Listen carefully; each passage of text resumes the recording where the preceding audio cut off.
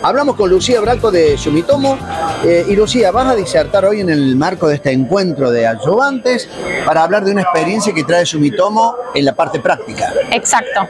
Hola a todos, estamos acá en el Congreso de AX con muchísimas expectativas porque estamos lanzando un nuevo producto y hoy venimos al Congreso a comentárselos, que es Empera. Empera es un nuevo herbicida PPO, es un nuevo ingrediente activo en el mercado desarrollado por Sumitomo Chemical una compañía japonesa, líder en innovación y patentes, y con eh, la, expectativa porque eh, Argentina va a ser el primer país que va a obtener el registro y a su vez va a estar disponible ah, comercialmente. ¿no?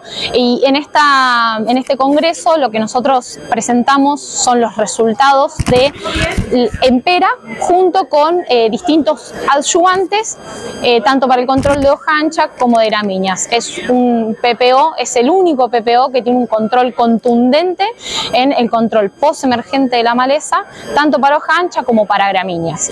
Y eh, la conclusión que nosotros abarcamos fue que eh, siempre Empera va con glifosato, ¿no? que nos permite una velocidad y quemado, a su vez nos permite mezclar dos modos de acción distintos, lo cual eh, tenemos un manejo antirresistencias y después siempre el agregado de un adyuvante que nosotros recomendamos los que son aceites metilados vegetales, ¿no? tanto para el control de hoja ancha como para el control de gramíneas. Realmente el no uso de adyuvantes, eh, el control es completamente inferior.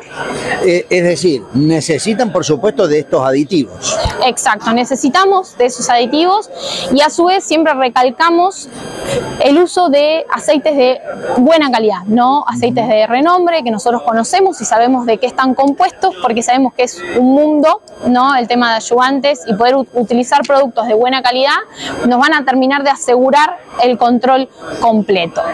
Eh, hablando de esta experiencia que han tenido, decís que el control ha sido realmente muy bueno.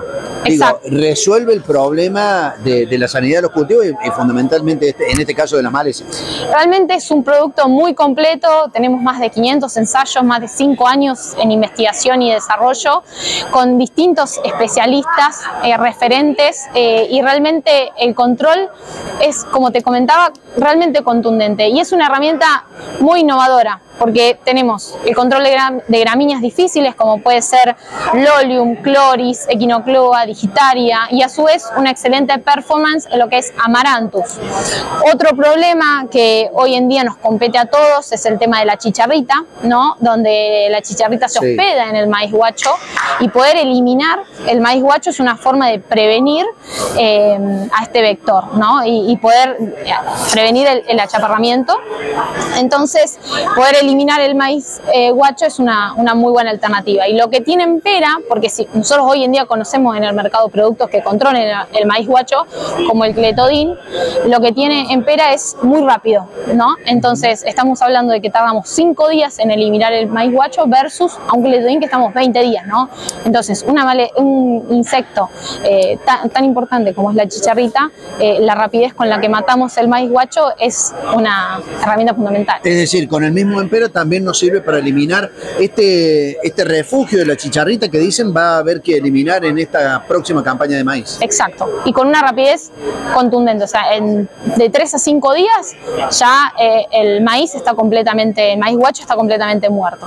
Así que para Sumitomo eh, es realmente una novedad muy importante la que venís a presentar en el marco de este encuentro. Exacto, es una novedad que no tengo dudas que va a ser una herramienta muy buena para todos los ingenieros, productores, eh, porque es una problemática combinada. ¿no? Hoy en día, según la situación del lote, este producto encaja perfectamente y a su vez eh, tiene muy buena compatibilidad y sinergismo con otros productos, con otros herbicidas. Entonces, según el tamaño de la maleza, el tipo de maleza, nosotros podemos combinarlos y obtener unos controles muchísimos mejores. Eh, ¿Cómo está elaborado en Pera? Es decir, ¿en base a qué formulación?